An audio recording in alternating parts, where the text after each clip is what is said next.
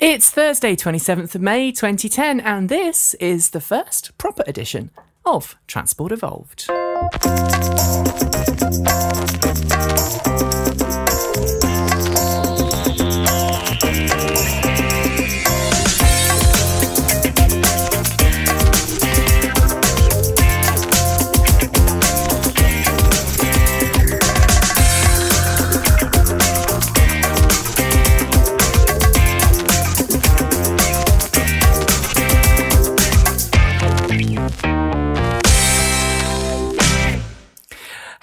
Good morning, good afternoon, good evening, and welcome. My name is Nikki Gordon Bloomfield,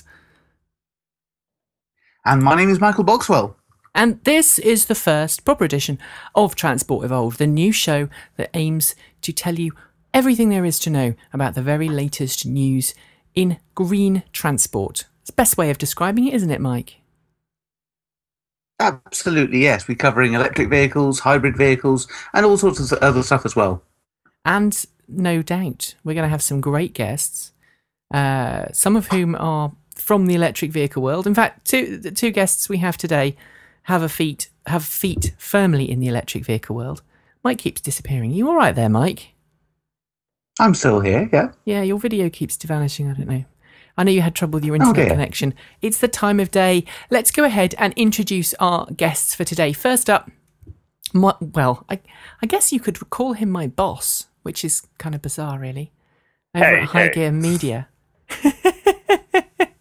Mr. John Voelcker, how are you today? I'm good. Happy to be with you, and congrats on the launch of the show. Thank you very much. We we had to have you on the first show because you know you, you're the go-to guy these days for well, certainly for me for for all things green, and uh, your your research capabilities knows no bounds. You always seem to get to a story before I do, which still can't quite get my head around. But there we are. Um, so what what have you been up to this this week, John? Um, well, I actually have a non-electric test vehicle about which we shall not speak. Um, and last week I was actually driving a Bentley about which we definitely shouldn't speak because although highly ungreen, it was actually sort of fun. But um, some of the news stories that I've been following, I suspect we'll be talking about on today's show. Lots Absolutely. of partnering up in the EV world as I think the manufacturers, uh, real car makers, take EVs increasingly seriously, and they recognize that it's expensive, it's challenging, it's difficult, it takes a long time, but they've got to be there, which I think is sort of very good for the world of green transport. Green transport in general has been just ablaze this week with so much going on. Um, Mike, at the end of the show, we've got an exclusive report that you managed to tag and bag, I suppose. That's right. With uh, Keith. Johnson, who's the That's right. uh, European manager of REVA. Yeah, he's a European president of, Europe. of REVA. Of course, a lot, lots of things have been going on in the world of REVA this week. So, uh, with, with with lots more money going into the company and, and, and a new majority ownership in there. So, uh, yeah, I, I managed to get uh, a, a, an exclusive interview with with Keith Johnson, which was definitely worth listening to. Fantastic. Well, let's go ahead and introduce our second guest. He's got up at the butt crack of the American West Coast dawn. At least, certainly, I think it is for him. Yeah, You're not a morning person, are you? Let's introduce Marc Geller. How are you? Good morning. Are you a morning, morning, person, all. Marc? Not especially, No. But, but you- I'm learning to be. You've got up just especially to be with us on this very first edition. And what a crew. We've got you and John and, and, and Mike and myself. So hopefully we'll have lots of fun. Now, you drive a RAV4 electric vehicle, RAV4 EV. How many miles have you got on that now? Uh, a little over 78,000. Wow. That's impressive. So 78,000 miles on Right. a 2002, essentially eight year old car using 15 year old technology. Still Mm-hmm. goes over 100 miles on a charge quite comfortably. In fact, right, uh, just earlier this week, drove up to Sacramento, 90 miles away, to go right. to a legislative hearing about electric vehicles and was fully charged by the time the hearing was over and comfortably drove home. Well, there you So go. it was essentially a 190 mile day in a 100 mile car. In a 100 That's- car, 100 miles. That's not bad, really, is it? Really. That's pretty good going. Pretty good going indeed. So, uh, what should we start with this week? There's been so much news. Well, I suppose let, let's start with the, the news. Let's go back in time to the start of the week. And it, we just missed this on last week's show, didn't we, Mike? Uh, something big has been happening with Toyota and Yes. Tesla. And I don't know about you, but I didn't see that one coming. Did did anybody else see that coming? Not at all. I think it's. I think part of the surprise came from the fact that Toyota are traditionally very, um, very internal. Pretty much everything that they've done in the electric drive world has been done in-house by their own engineers, and obviously both for the nickel metal hydride batteries, which they have a joint venture with Panasonic for, and now lithium batteries, which Mhm. they essentially picked the wrong chemistry for initially. They've done it uh, either with Japanese partners or internally. They now have their own lithium battery lab. So for them to partner with a non Japanese company, a new company, a venture funded startup company, um, is quite unusual indeed. I, I just I just I don't I don't know how they managed to keep it quiet. That's the thing that I'm shocked about because uh, the the the car industry has ears, and there's normally does, but someone Toyota's somewhere that will tip quite- off somebody that something is happening. That someone will pick up at the end of the day, you know. But but in this case, nothing, nothing until it happens. Well, from what I read, it sounds like this was pretty much a two-man deal. Um, Mr. Toyoda uh, sat down with Elon Musk of Tesla, and it sounds like they pretty much hammered it out together. Tesla had been expected to announce that they were going to pick one of two plants in Southern California to build the Model S, which they've already been funded by the DOE for. Yeah. And you know, everybody was sort of tapping their fingers and saying, "You've got to announce this plant already." Um, it does sort of solve a problem for Tesla in that NUMMI in Fremont, California, is at least an existing car plant. Um, if they choose to pick up uh, or offer to rehire some of the UAW folks who were building Toyotas and Pontiacs there, those folks at least know how to build automobiles, which may give them a bit of a head start over taking some kind of other factory and training staff who've never done that before. I can also argue the other side of that, but um, it's clever. I mean, it solves the problem for Toyota in, politically because they were getting hammered. And I don't know, Marc, can you talk more about local reaction to the closing of NUMMI? Oh, I mean, the, the closing of NUMMI was a, a, a big deal. There have been, you know, numerous stories. It's uh, people have been looking for ways to reinvigorate NUMMI, whether with automotive or something else, for quite a while. I'm sorry about the garbage truck that's about to pass by here. Um, they're doing but I think people were very. yeah, exactly. Uh, but uh, you know, there was a, a lot of excitement generated locally about this. People in Fremont, you know, including uh, public officials, elected officials, you know, kind of woke up to this announcement unbeknownst to themselves. I think we should probably take uh, Musk and Toyota uh, at their word that they basically did, as John said, hammer this out themselves. And I think Toyota as they said, took a cue both from, in a sense, Tesla and Nissan um, by doing something quickly. I mean, Toyota said one of the things that most impresses them about Tesla is that as a smaller company, they're able to move quickly about things. And I think these guys decided they needed to move quickly. They needed to, as John said, have some political cover for the disastrous Right. last few months. And um, I think they also have to deal with Nissan. They have to deal with the fact that, you know, Ghosn, Carlos Ghosn, the head of the Nissan Renault alliance, had sort of a come to Jesus moment where he, uh, you know, had this epiphany about uh, electric cars. And I think Toyota has to be wondering if their gamble that a all hybrid fleet uh, without plugs uh, was going to get them through the next generation of vehicles. And I think they're they're dealing with that question and wanted a way, somewhat off, uh, you know, outside of the normal channels of, of Toyota to pursue, uh, obviously, their tremendous skill set in plug-in Mm-hmm. vehicles.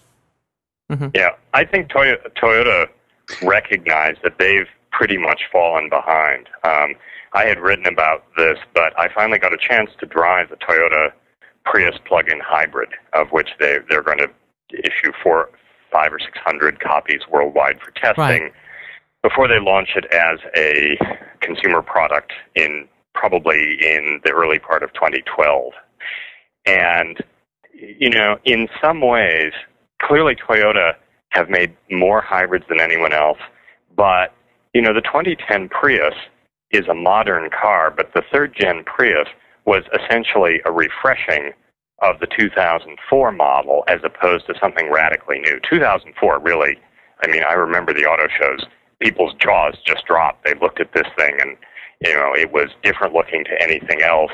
It Right. had a ton of interesting things you know, the 2010 is not that car. It's a very nice evolution. The Prius plug-in hybrid, I was sort of startled. You plug the battery in at night, right, or whenever. You get up to 12 miles of charge once, and then it reverts to being an absolutely standard hybrid. You can't use regen to recharge the added part of the battery pack. So it, it's kind of a, to me, I was, when it, it took me a long time to understand that because it seemed like missing the point. Um, I wonder if Toyota are sort of fearful of falling behind in the next generation simply because they pioneered hybrids and have committed more than any other manufacturer to them, and they're so stuck on their existing path that they suddenly are afraid of being leapfrogged. There is another thing going on here as well. I mean, Toyota has always been a very private company. Trying to actually get information about what's coming up in the future and everything else, it, it's it's very much a controlled uh, set of information. They'll they'll tell you what they want you to know and nothing more. Uh, but what we've seen in the last couple of years is, uh, you know, uh, Toyota CEO, uh, you know, Toyoda, what a great name for a CEO of Toyota, um, it, it has been uh, rumored to be brokering a lot of these sort of deals on a one-to-one basis. So you've got this Tesla one, which is rumored to have been, um, you know, mainly at the hands of, of uh, Toyota CEO. Had another example of that last year with Aston Martin and Toyota with the, the, the Aston Martin Cygnet based on the Toyota IQ. Again, it put together very, very quickly. You know, a, a couple of meetings, literally over over a few hours. Uh, rumored last year, and uh, you know, the whole system, everything goes goes ahead very, very quickly. So I'm wondering if we're seeing a something very different from Toyota, a little bit more risk taking, a little bit more innovation to uh, to try and stay ahead and to try and keep their their, their hands in uh, all these different uh, technologies and all these different opportunities that there are out there. I think I, I think that's right, and on. I think that the safety issues have really sort of exposed that there's something gone fundamentally wrong with Toyota's management culture. Um, here in the states, what's starting to come out is that the U.S. executives were deeply frustrated and kept sort of saying, you know, look, we need to pay attention to these things. Um, whereas they were being directed basically to downplay it, to save money, not to do the most expansive recalls, et cetera, et cetera. Um, you know, I don't, I don't know forensically really if we'll ever know what happened inside the company, but there's certainly a great deal of frustration there at all levels, and something went went radically wrong. This kind of deal, you know, and Toyoda is a descendant of the family that founded the company, so he's got as much on the line as you know Bill Ford or anybody else. Um, this kind of deal may be an an attempt from the top down to sort of shake things up and really point out that you can't ossify into this into this sort of cautious reactionary management style. Anyway, let let's examine what what the the message from Toyota had been up to that up to the point last week where we didn't know that this was public. Uh, yeah, that's a that's yeah, it's a, a, a good way Been in a to address it trouble, because I think that yeah, I mean they've obviously been in a lot of trouble, and I think that you know uh, uh, John was just talking about uh, driving the plug-in Prius that Toyota is going to be making a few hundred of for test fleets, um, and I think that is the Toyota from before. In other words, John described a vehicle that you would have to say technologically, you go, why would Toyota even bother? Um, mm. Not because of the 12 miles all electric range. I'm, I'm not particularly set on a particular amount of all electric range. Um, I think the important point is that you can plug it in. But to make a car where they just don't even bother making it so that the, the, the, the regen can uh, affect the traction pack, um, the sort of additional pack, which I think is what John is describing, um, right. just makes no sense.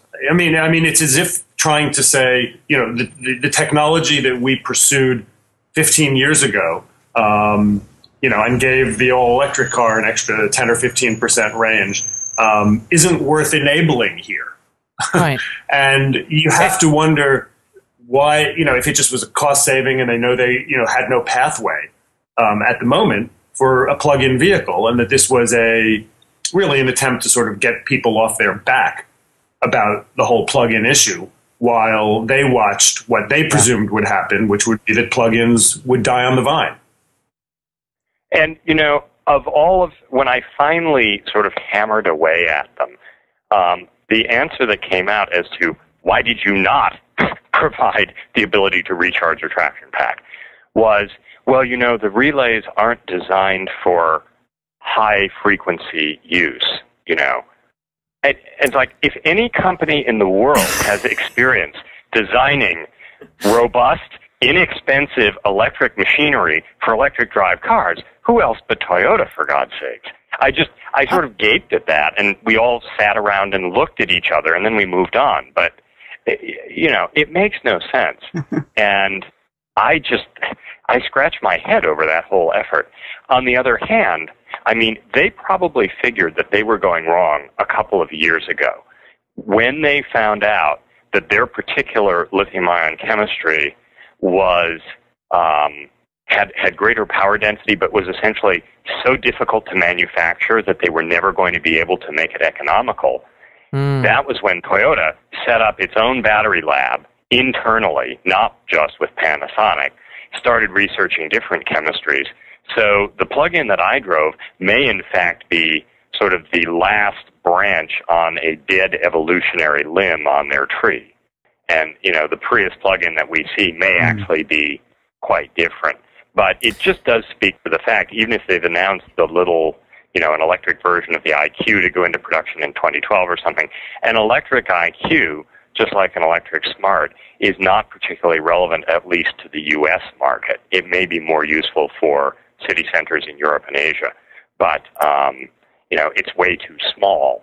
And until I hear that Toyota are doing essentially a leaf size electric vehicle, it's hard to take it seriously. I just want to add something to to the whole kind of plug-in Prius that you can't recharge, which is that I had a plug-in Prius which I converted myself, and yeah, Mike Mike teases me regularly about the fate of that car. It, it ended up uh, non-functioning again, didn't it, Mike? But you, you cooked you cooked it. I yes. cooked it because I didn't use uh, proper recharge uh, safeties. But I could recharge my all three of my batteries, and, and, and, technically, from what I understand from from what John and other people have told me, essentially the the, the plug-in Prius that they're they're testing at the moment is a regular Prius with with an extra battery pack, or is it two extra battery packs? Two extra, yeah. Yeah, which is what mine was, and and had pretty much it sounds as like a similar range, except mine could recharge while it was moving. Um, a fail, epic fail. But you, you mentioned the Leaf, so let's go on to the Leaf. Mike, what's been going on this week with the Leaf? Well, obviously the um, uh, you know, the, the Nissan Leaf appears to have been selling extremely well in the United States. Uh, they announced that 13,000 people have put down $99 deposits for their car. Uh, 6,000 people in Japan have also put down deposits for their car.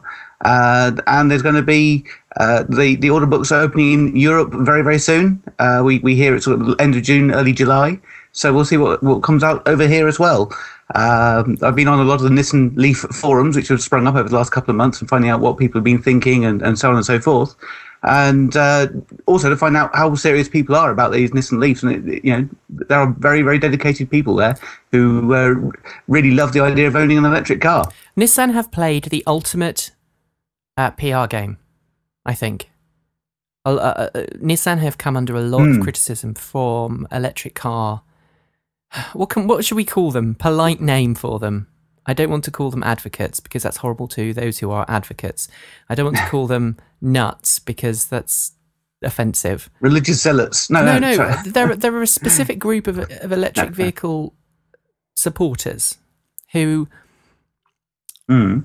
are have been really on Nissan's case for for not uh, just giving the car out to any Tom, Dick, and Sally who happens to want one. And there's been this Mm. pa- page long, as I understand it, questionnaire that, that you have to fill out to say what you're going to do to it. That hasn't put people off.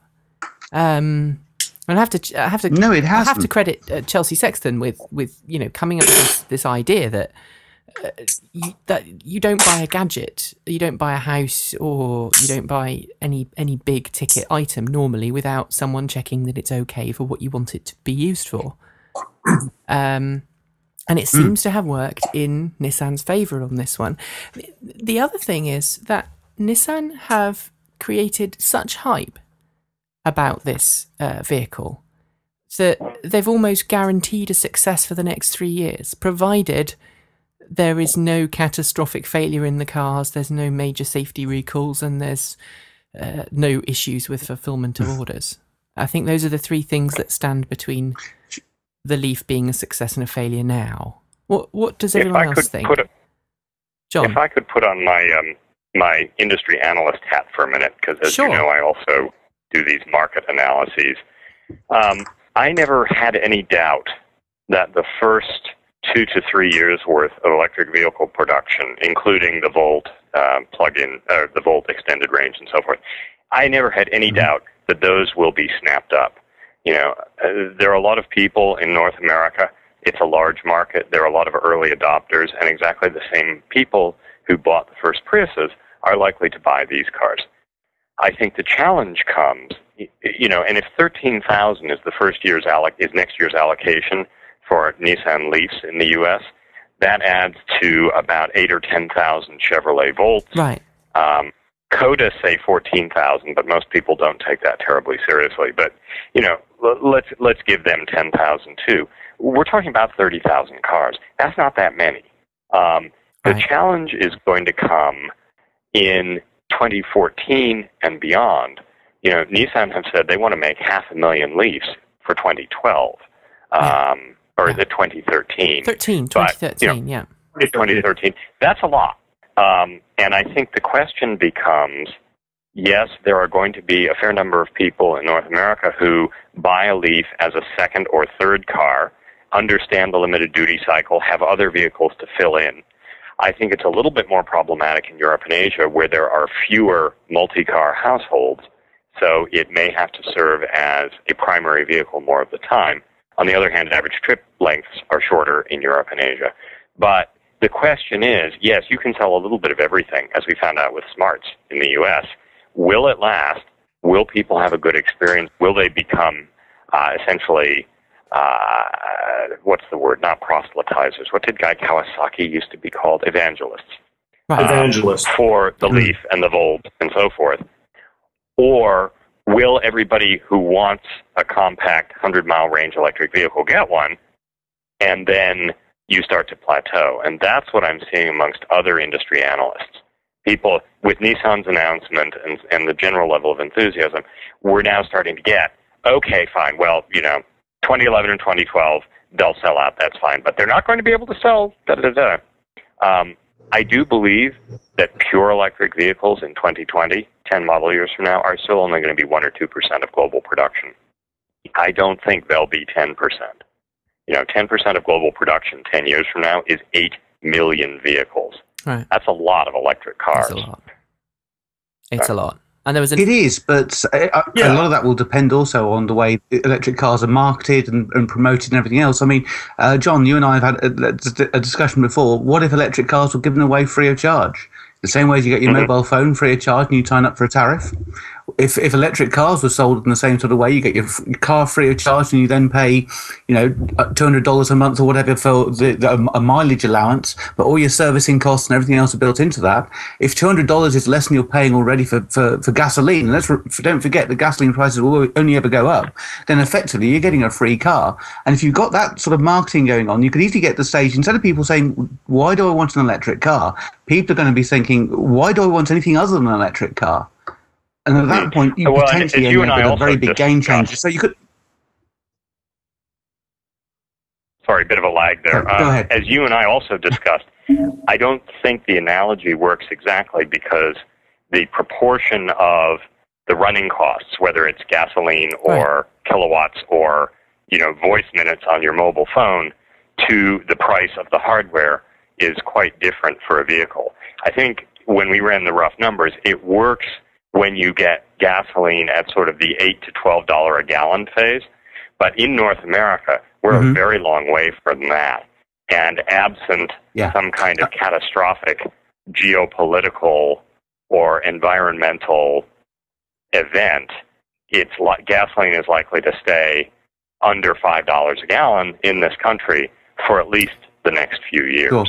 And, uh, and deep, we'll Deepwater Horizon in, the, in Europe that's not that? quite the, in Europe that's not quite the same case because if you look at something like the United United Kingdom, gas prices now are at just over seven dollars for for a US gallon and they've been going up uh, this so far this year. They've been going up by, by about uh, eight uh, percent from January till now. So it, we're not far off that sort of level. So it, you're right. For America, it's going to take a little bit longer, but in in Europe, it could happen. It really could happen. It's yep. it's a, it's an interesting it's an interesting. Uh, point though i mean that that uh, there is a very it is a very small proportion of cars predicted to be electric by well, the end of 2012. Yes, of course. Um, I mean, but I think you know, I mean, the question becomes really, I mean, you know, maybe we should be looking back on these analysts, uh, present company accepted, um, uh, predictions in the past and uh, analyses in the past. And I see a lot of these analyses and have seen them for the past 10 years on on uh, the prospect for various technologies. And, you know, the preeminent uh, body in California, the Air Resources Board, you know, is touting uh, their projections for, you know, how in 2040, uh, 75% of the, vehicles sold will be fuel cell vehicles and a small percentage will be battery electric vehicles because that's the sort of ideological Kool-Aid that they've bought. And the truth is, none of us really have uh, the ability to project certainly that far out. And the question becomes, can we project out? I mean, we, we know something about manufacturing capability, but can we project out what happens when a radically different technology um, that meets different and uh, sort of almost unquantifiable needs of consumers uh, and something they had been really in the dark about before, um, or at least the electric car was not really any different from, say, a flying car in terms of uh, how close to uh, the marketplace it had been. And what happens when everyone has a neighbor or a friend of a friend who's got an electric car, and uh, the you know downward price price pressure that's happening and that will happen, um, and the what perhaps will be a more aggressive stance by governments over time. Uh, you just made reference to the uh, uh oil devastation in the Gulf. Um, yeah. You know that's not the last, uh, not the first, and not the last time something like that happens. The question is um, you know, John suggested perhaps we need, uh, in order to get over the valley of death for the technology, some sort of, uh, you know, either environmental catastrophe or geopolitical catastrophe. And I would make the case that those things are actually going on right now. The question is whether they're focused upon. Uh, but but clearly they are today. And no one I've seen discussing the Gulf said, you know, holy geez, uh, you know, if there were electric cars in the world, this might yeah. become less of an issue. But I think that if there are electric cars on the market, um, and you've got the Gulf tragedy going on, and you get to buy your next car and participate in that destruction or not participate in that destruction. Yeah, uh, we just can't. We can't really yet grok how the paradigm will shift and how quickly. I would agree with that, and yeah. I would say the intersection of sort of consumer desires and that far out, sort of past 2020, government long-term direction, tax policies, you know, infrastructure investments, things like that, come much more into play. Um, so yeah, it gets very fuzzy. I would say though that for all that electric cars are sort of one of the bigger evolutions in a century, practical electric cars, at least in evolved markets like Europe and North America, where people are not suddenly going to double or triple the number of vehicles on the road, unlike China, um, they're going to do mm. essentially the same things that regular cars do now.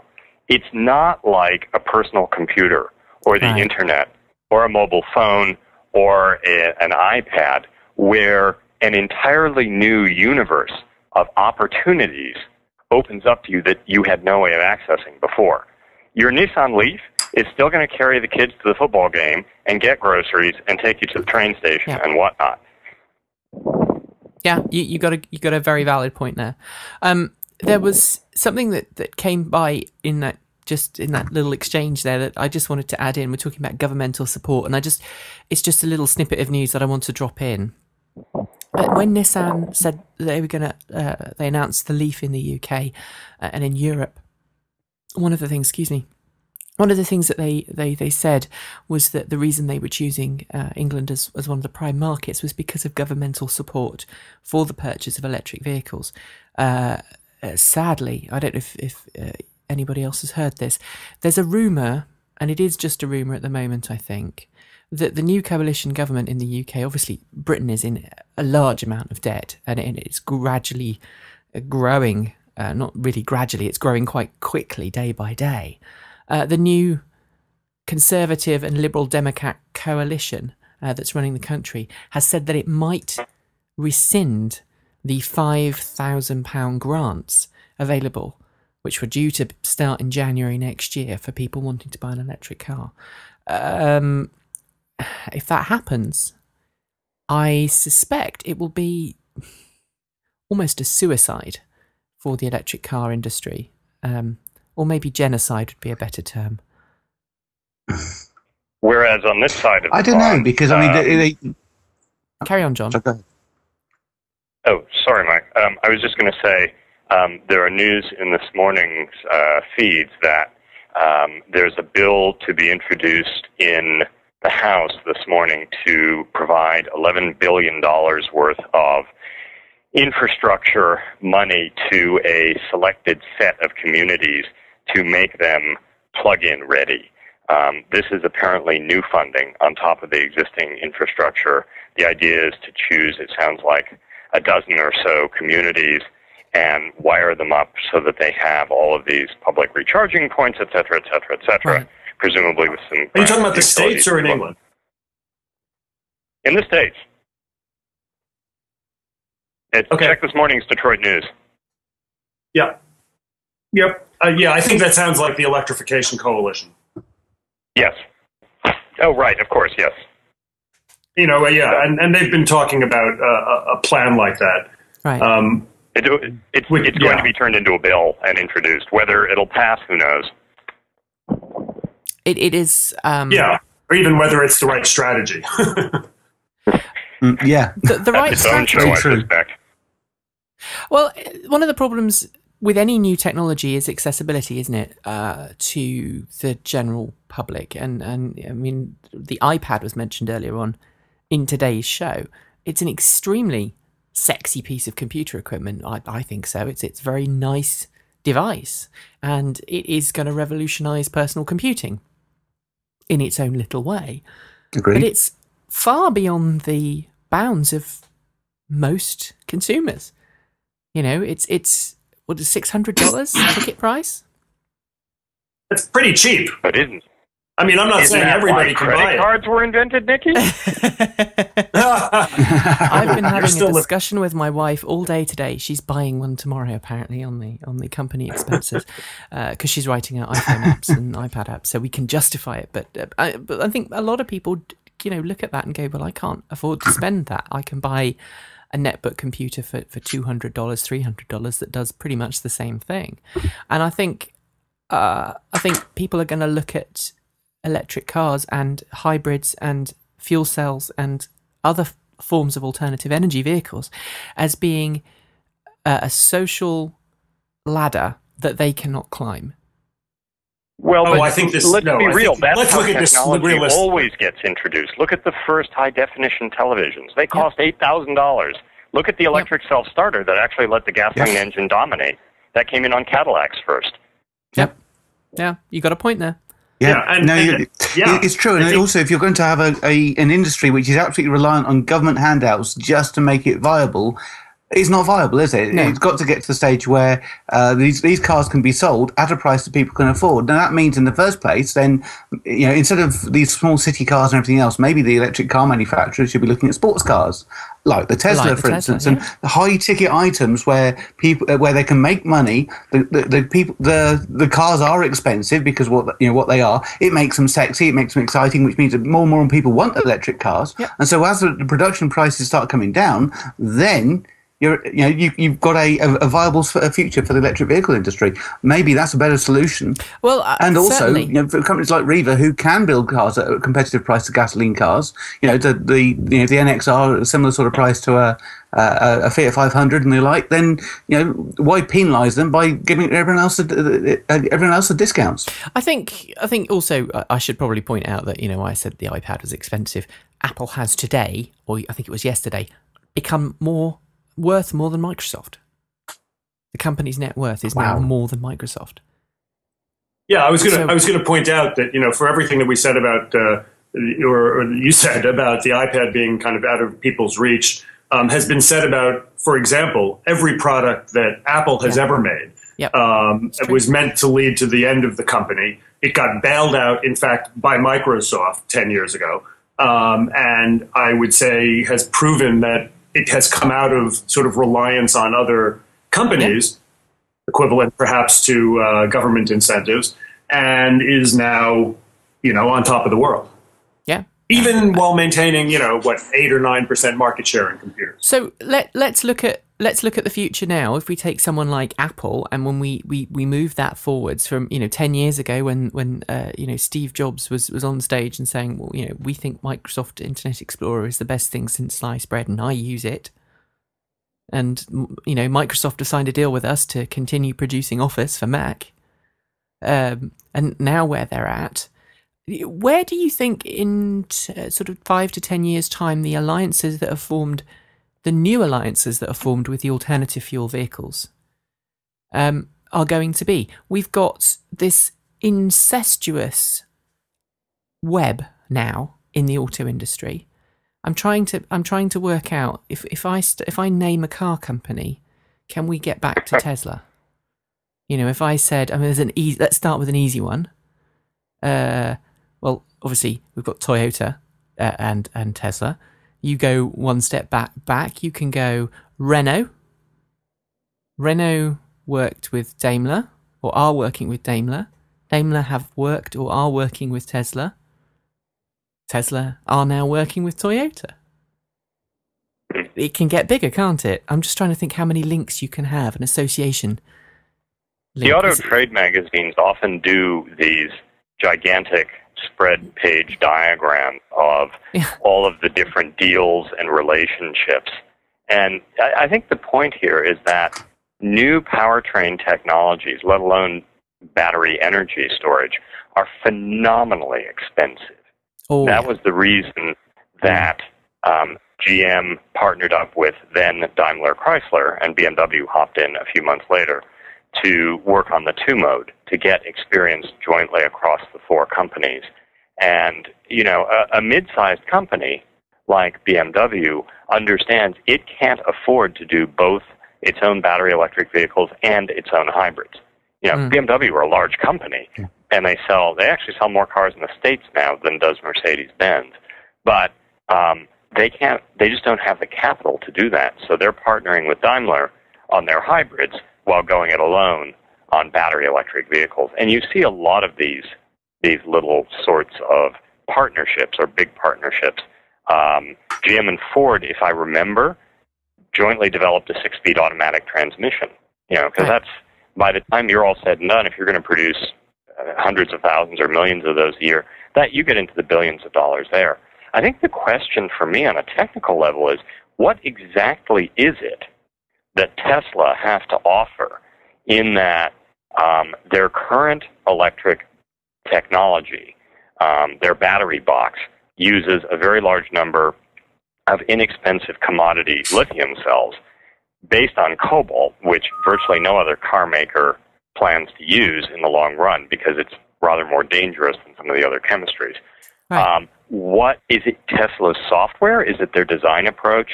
Have they got a generation two battery box that's completely different using much larger format lithium cells that's, you know, under wraps and that's what attracted Toyota? That's the, the head scratcher for me. Not only the cultural thing about Toyota going to this small company, which as we discussed was sort of two guys getting together and shaking hands, but what's the technical appeal? Maybe it's the uh, the lack of baggage. Yeah, I mean, it might not be technical I mean, appeal at all. Side. Let's remember. Carry on. Hmm? Uh, let's. Re- yeah, let's let, us let us remember. You know, I mean, Tesla.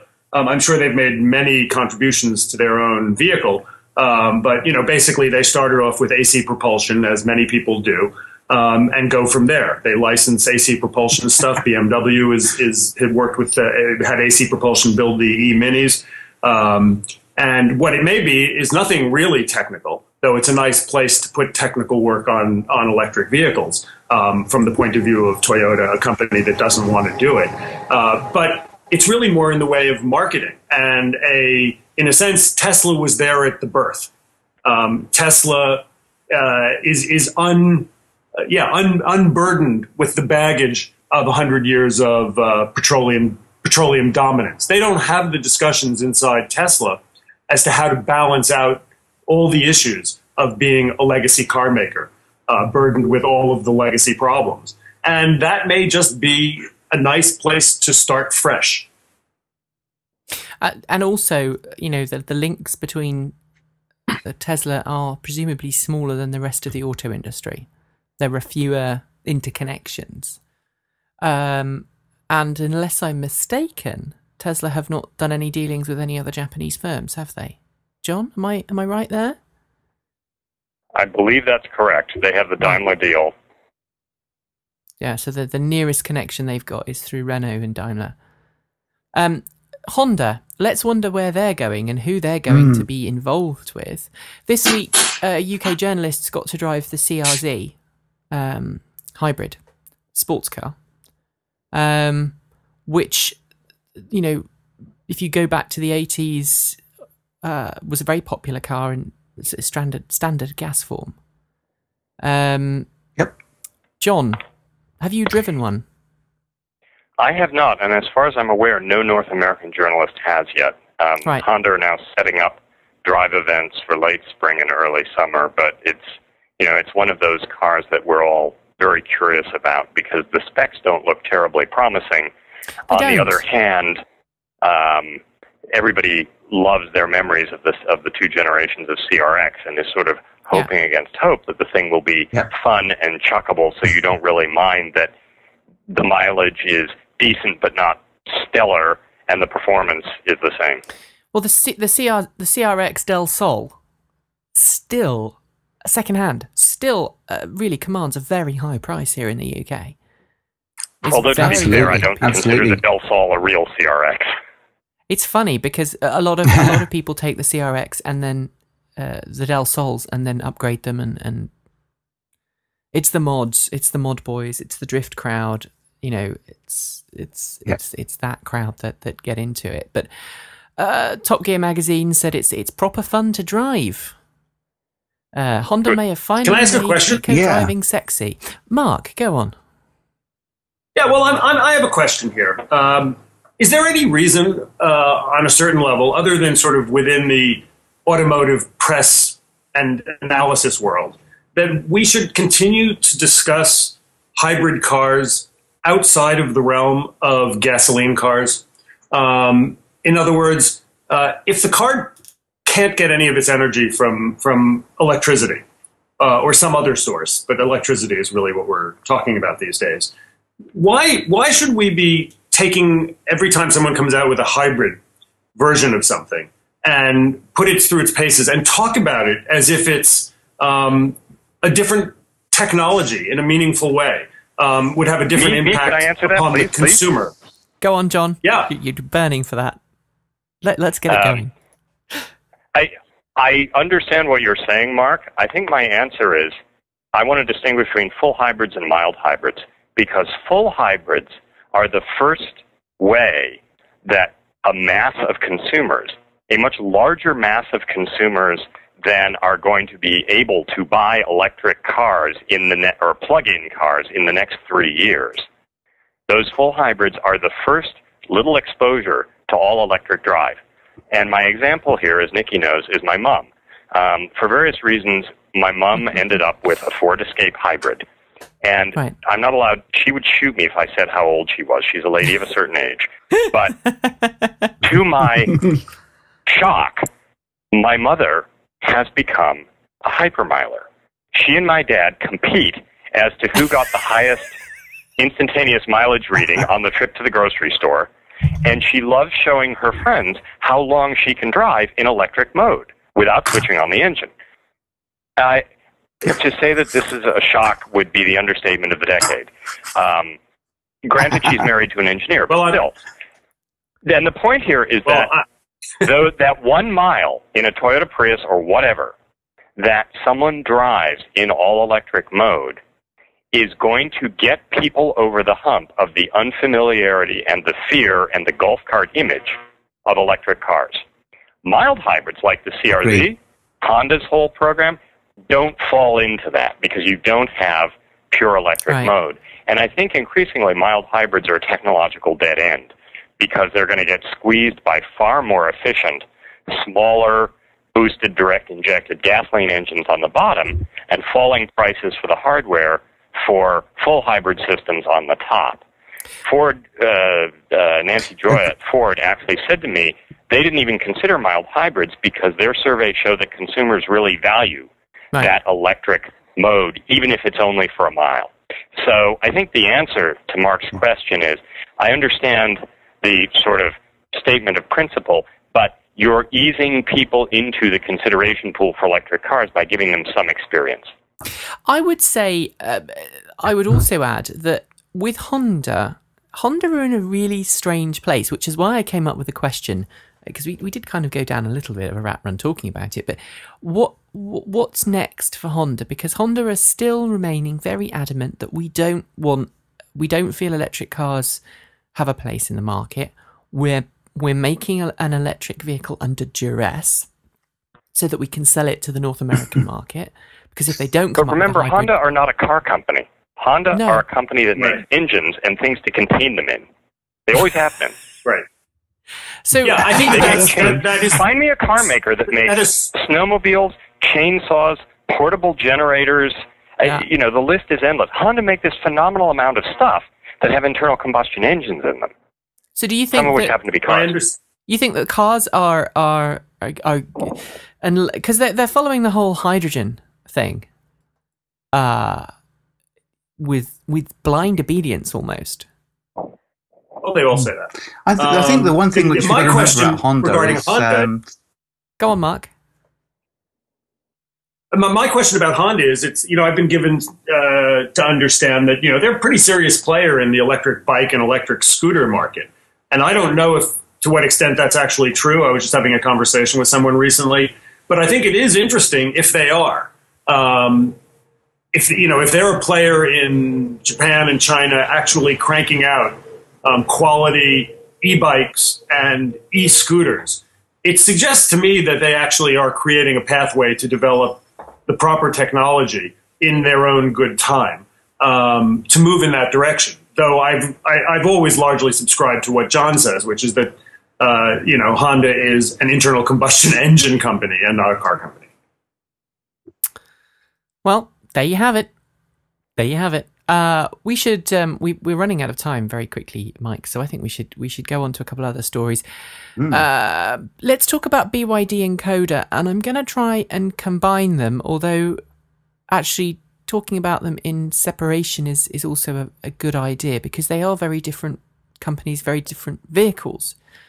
Coda is a a company that's producing the the Coda sedan. They've claim they want to to sell 14,000 electric cars in the US by the end of next year. Let's not forget, Nissan have just closed their order books for 13,000 Leafs for this year. Mm. So that is a very uh, uh, um, optimistic target, I think, for a car company that, that have essentially only just started to produce vehicles or have uh, intent to produce vehicles. They have raised another 58 million in funds. Um, but there is some question as to whether their cars are US ready yet.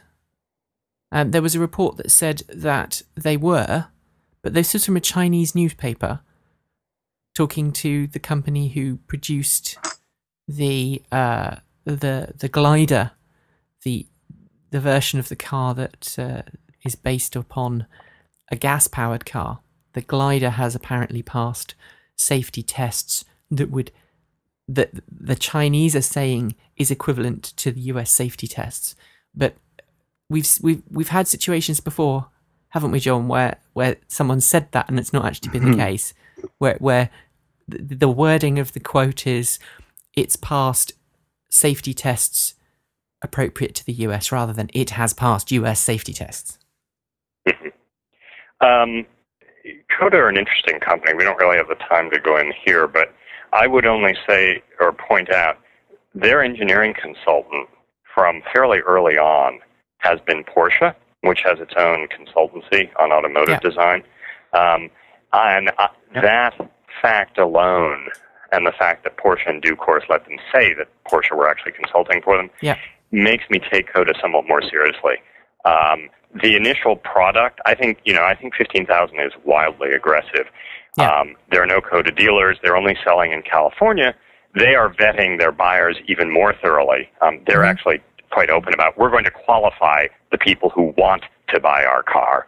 Um, but I expect a large number of the Codas to go yeah. to municipal authorities and fleets, at least those ones that don't have Buy American provisions in them, um, as opposed to Nissan, which is much more of a consumer product. BYD, on the other hand, is a little bit less proven. Uh, you know, everybody who talks about BYD has to put the asterisk about Warren Buffett invested in the company, which is fine. Um, but it's a bit unless like, or until. Yeah. it's a bit like being married to someone famous and being known because you're married to the famous person rather than being famous in your own right. It, it, exactly. And, you know, until I, there. Until anyone I know drives and road tests a BYD E6 that has been certified by the NHTSA for sale in the U.S. And the same goes to Coda, but they're closer. I at least you know drove uh, yeah, around I mean, in Coda a, have a working at least, vehicle. Coda have at least let people ride in a working vehicle. Marc, I have a suspicion you may have ridden in a Coda. Yes, I did. True? Yeah. And how was I it? In a Coda. And, well, it was per, it was okay. You know, I mean, it, it reminded me. I mean, it's it was let's say it was it was better than a Solectria Force, but it had that's, a. Uh, that's not a particularly good compa- That's not a really very good benchmark. No, it, and I think partially it, emotionally felt like that. Right. Um, so uh, more of a but, conversion. You know, we didn't get felt like a conversion. Was, it, somewhat. I mean, and it was clearly, you know, the fit and finish was just, you know, not there. And I've go, gotten used to you know, a pretty high level fit and finish on on electric prospective electric cars. I mean, I drive drove the Volt last week, and um, you know that was a real car. Uh, yeah. There was no mistaking that you could take that car through its paces, and that's why they. I mean, they didn't let us drive it for long enough, but you know, you could floor it in this huge parking lot and get up some speed and take some wild turns, and it felt like a car. Whereas I think if they had given us the coda and said do that, you just would have been afraid in a sense that the uh, the fender might have fallen off. But the, you know, I'm being more negative than I actually feel, just because I feel like um, I don't know what I feel like. But it's it's uh, you know I don't know enough about coda to know what's what's going on with coda. Is is how I feel, and it, their projections for 10 or 15,000 cars by the end of 2010 or in 2011 have always seemed wildly um, uh, optimistic. Um, and I've gotten a little tired of, um, press releases in this area.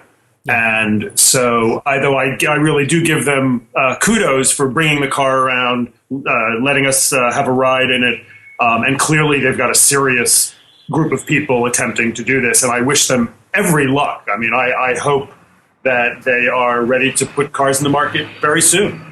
Uh, but I think that cars companies like Coda have got to have had, uh, GM as well for that matter, uh, you know, some serious discussions since Nissan announced the price of the Leaf, because it means you know a Coda has to come in lower than a Leaf, and I think that is putting tremendous pressure on on some of these companies, and I think it's putting pressure on GM as well in terms of pricing of the Volt. They're essentially playing roulette with each other. The difference is that Nissan don't have to bank, don't have to bet the entire bank on this. I, I, right, and remember, I've, despite Ghosn's statements, I'm highly skeptical that Nissan are going to turn a profit on their first few years of lease. Oh no, you I know, don't Toyota expect them to. Is widely ex- ex- widely accepted to have put probably 10 or 15 billion dollars into the hybrid program before it even began to break even on a oh, yeah. sort of a marginal basis. Nissan has to do the same thing, probably. But I think Marc's exactly right in that that puts huge pressure on Coda, which doesn't have any other line of business to backstop it. Let's just finish up with a couple of very quick kind of stories that we want to just inject in that, that aren't electric, because uh, obviously Transport Evolved is about all forms of future transport that hopefully are slightly evolved. And uh, the question is whether you believe that the, the, next stories are considered evolved or not. There's a rumor that uh, Daimler and Toyota are working on fuel cell development. So although Toyota are working with Tesla on this new electric drivetrain, they're still they're still ticking away in the background on fuel cells. Um, and uh, I think most people have now come to a point where they've accepted that if there are advances in the way that hydrogen is generated and if it can be generated in a clean way then then yeah it, it's a good potential fuel for the future but but it's still that if or when how thing and we hope to have someone on to talk about that at some point in the future uh, and finally um, lpg and, and cng uh, is becoming quite popular uh, in in Europe these days. Um, but uh, now it's it's becoming a little bit more uh, interesting because uh, I think this is one of your stories, John, over at Green Car Reports. Chevrolet Express and GMC Savana vans are big vehicles, right? Right. Huge. And but they're now going uh, to liquid petroleum and compressed natural gases to be run. why? What What's the advantage of this? some preserving the internal uh, combustion engine. Spoken well, like a tree, a true EV advocate, Marc. In certain markets, there are cost advantages. Uh, I mean, Honda just launched its Civic CN, or Civic GX into Utah um, because Utah actually has a fair bit of natural gas and it's quite cheap there. It's this sort of localization of fuels thing um, mm. where you know, we may see in urban areas more pure electric vehicles. We may see CNG for long haul trucking and for places that have CNG nearby. We may see flex fuel and ethanol vehicles in places where it makes sense to produce it locally. Um, I think this diversity of fuels for combustion engines, along with diversity of powertrain types, is where we're going, just as we have diversity of body styles right. now. And I, I yeah, I think there's only There's a, Go on. Yeah, I was just going to say, I think there's something to be said for that. Um, and I think you're you're spot on in terms of long haul trucking, where they've really got to figure out something in this country, since the logical transition to rail is just not going to happen, um, or certainly not not quickly enough. But I think that uh, as we always are quick to jump on electric uh, technologies for the uh, incentives and support that they uh, that we attempt to get from the government for it, let's be clear. All of these other technologies, including CNG and biofuels, are at the moment completely dependent on government subsidies and tax structures that incentivize them, as well as local uh, authorities' uh, rules regarding alternative fuel vehicles um, and the incentives that they get for it. I, I'm you know highly skeptical about how seriously uh, Honda is going to enter that market with uh, the the uh, G, GX. Um, I doubt it will be any more aggressively than than uh, in California. And I dare say that though urban areas are a special focus for electric cars because um, urban areas are likely to increasingly disallow uh, internal combustion cars, as they've done in some markets in Europe, I think that um, there's no special advantage ultimately in rural areas for natural gas, even if there happens to be a, a lot of natural gas available in that state. Because let's be clear, they are all electrified. We have, you know, since since Franklin Roosevelt, the country is electric. The mm. infrastructure is uh, everywhere. Uh, and so there really aren't any inhibitions on uh, electric cars wherever in the country. Marc, it's not a it's not a distribution problem. You're entirely right there. It's more a duty cycle problem. Unless and until we get electric vehicles that have 300 plus miles of range, those of my friends who live in sparsely populated rural areas um, of the Midwest or other parts of North America easily knock off more than 100 miles a day, easily. And the, the point was more about duty cycles. You know, one of the points I try to hammer home on Green Car Reports is this business of we pick cars now, pick body styles, car sizes, and types based on what we're going to do with them. We will do the same thing with powertrains. So the electric car is fine if, in fact, you go 100 miles or less a day and have six hours to plug it in somewhere or some sliced just, up bit of that. I, I understand what you're saying, but I just want to say that is what the plug-in hybrid is for. And um, I would, you know, strongly assert that we have two fuels, quote unquote fuels, available to people everywhere: yeah. gasoline and perhaps diesel and electricity. And uh, hmm. to attempt to switch fuels um, is a bigger proposition actually than switching technology in the cars, since that's the direction that offers us so many environmental and political benefits, um, which you know just can't be said about any of the other alternative fuels. And so to combine them, to offer those people who, who more who quite often have 150 or 250 mile days, um, the option to do what still we must remember, even in Lodi, California, or or, or, or somewhere in the middle of Nebraska, most people, most of the time, are not driving 100 miles a day, though they more, may more frequently actually need to do that, in which case a car like the Volt really solves the problem. Fair enough. And on that, I think uh, I think both of our guests I know have to to vanish. So uh, I think Mike, you and I should um, head on. We're just going to do a final story, which is an interview, isn't it, Mike? Mm. It is, yes, uh, an interview with uh, Keith uh, Johnson, who is the European president of, of REVA. Uh, REVA uh, have been building electric cars uh, mainly for the Asian market and, and, more recently for the European market for the last nine years now, and they've just been ta- uh, had a, a majority uh, shareholding in Mahindra. In Mahindra, I find this very a, funny. Um, an Indian car manufacturer. I, I, heard a rumor about this a couple of weeks mm-hmm. ago, and I heard lots of rumors last week, and I saw lots of articles on it. And in fact, I wrote an article uh, for All Cars Electric on it. And uh, uh, I, I, sent John an email in the week uh, as my editor saying, someone's posted on here, what should I say?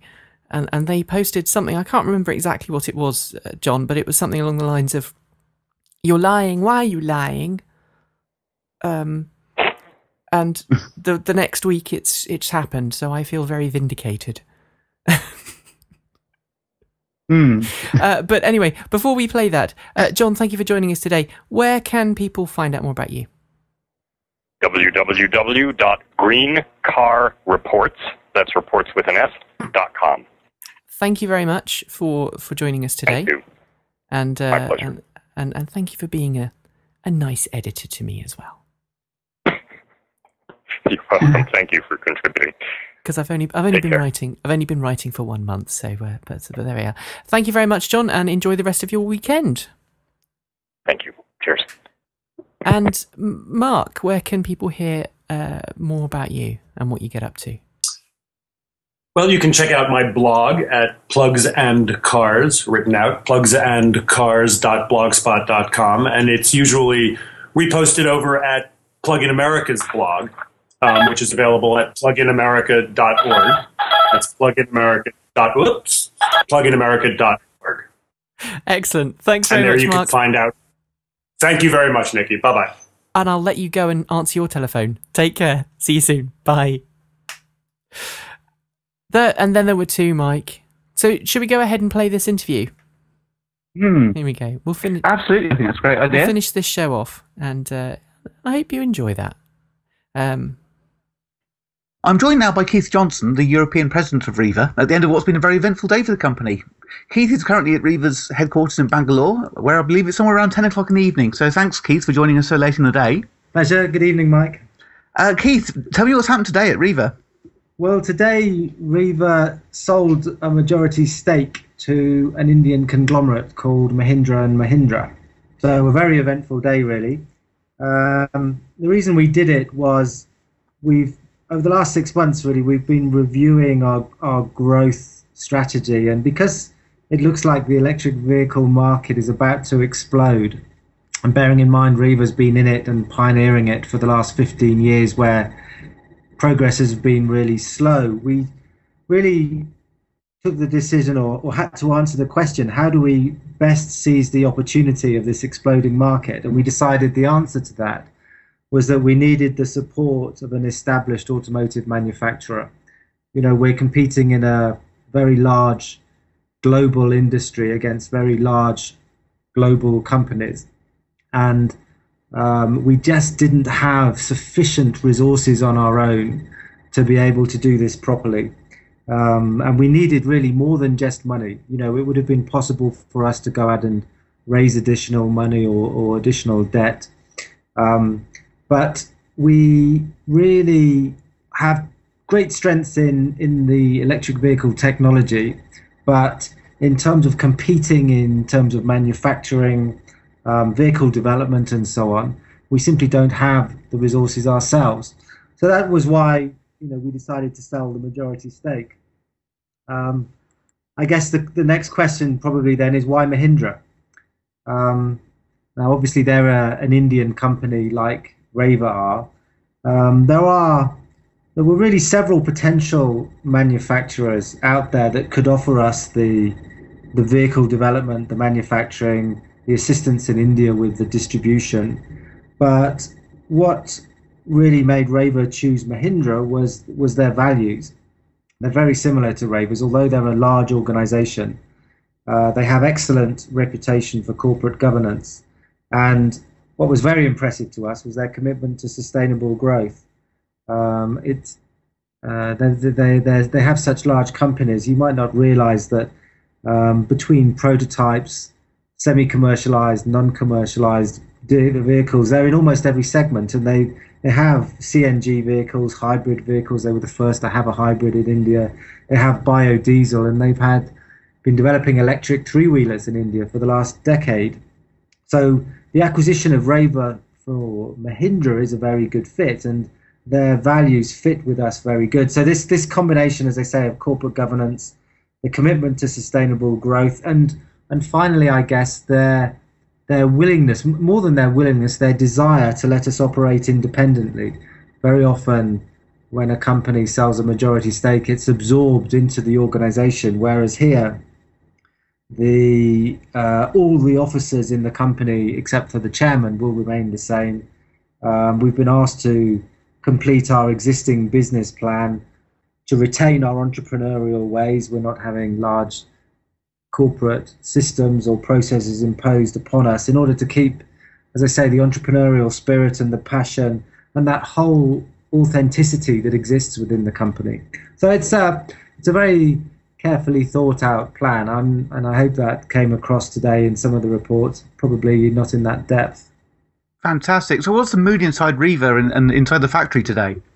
Very jolly, very upbeat. We, um, you know, we started the day with the announcement to the stock market, and um, there was a board meeting, and then there was the press conference, which was very well attended, um, certainly in India. And then uh, we spent um, several hours with the whole company, which is uh, around 300 people.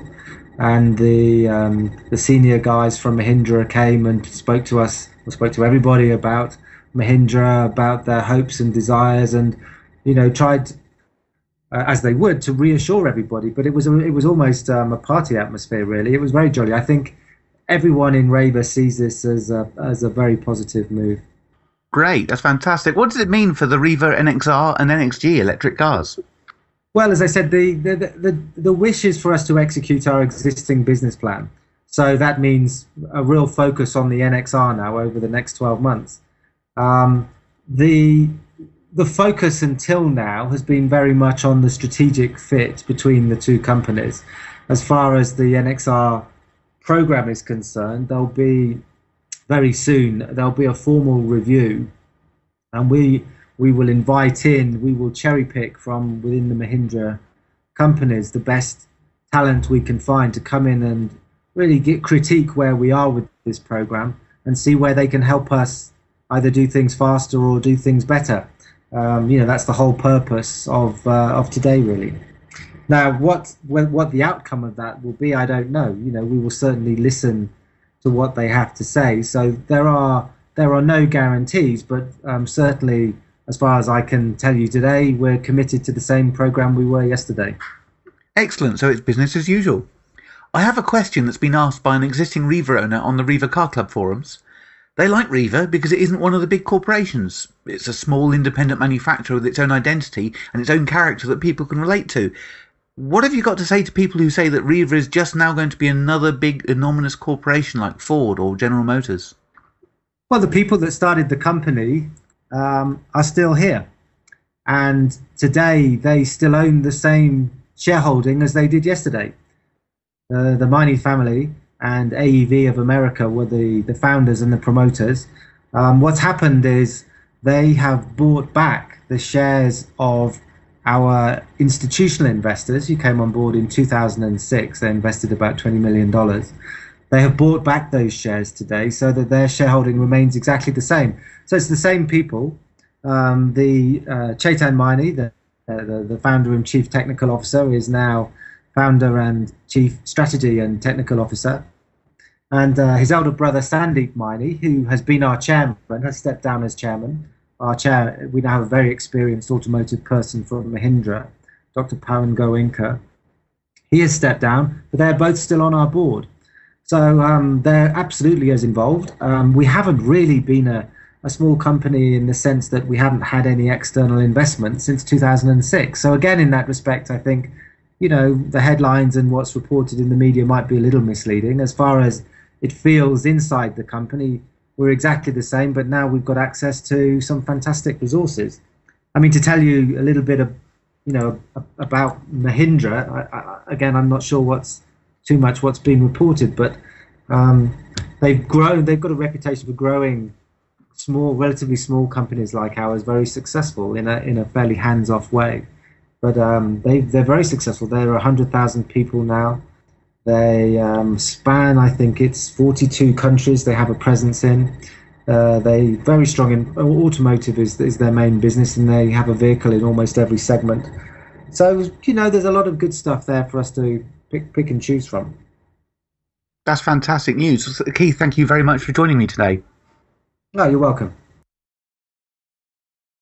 So there you go. That interview was recorded yesterday evening. Um, it was about ten o'clock in the evening in uh, in India when uh, I spoke to Keith, and uh, it, it, it, so it'd been a very very long day for him. So right. it was it was fantastic to get, if you like, the, the first real uh, information from within the company, what it's like. You know, yeah, I think lots of positive news for everyone. Awesome, awesome, awesome, awesome.